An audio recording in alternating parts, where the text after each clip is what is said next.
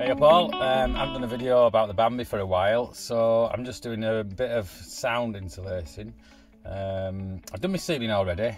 All I did, I don't know if you can see it, nice and dead now, no echoing. All I did was I cut um, a roll mat up for, you know what you use under your sleeping bag for camping. It's quite dense.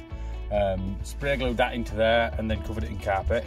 Uh, I'm now just on with doors. Um, I've done passenger door and I'm just literally filling it and sticking it with ordinary um, sort of inch and a half foam. Basically anywhere that vibrates and echoes I'm deadening so I'll just show you the difference on the two. I've done the passenger one, I haven't done the driver's one. Um, if we just step out here, um, if you listen to the passenger door now, quite a dead sound, so no echo in tab. But if you look at the driver's door that I am done, very echoey. So basically, just taking skins off, filling them with um, foam. Everywhere else that echoes is filled with foam. Put a bit of expanding foam down in bottoms uh, arches because it's just a little bit weaker.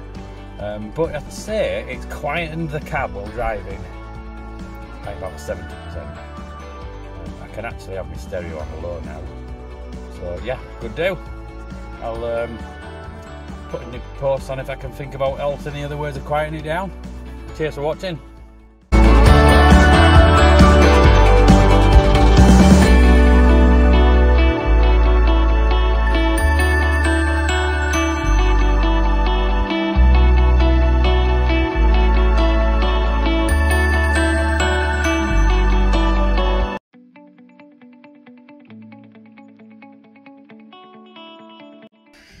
Uh, I probably should have done a, a, video before what it sounded like actually when it was running, but believe me, it was bloody noisy. I couldn't hear myself think, um, and I had to have stereo on full to drown it out.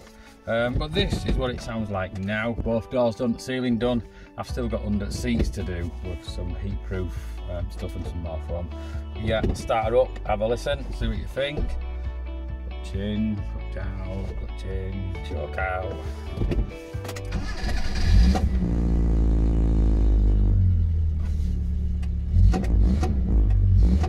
Pretty, uh, pretty good really. That's choke out, put choke in.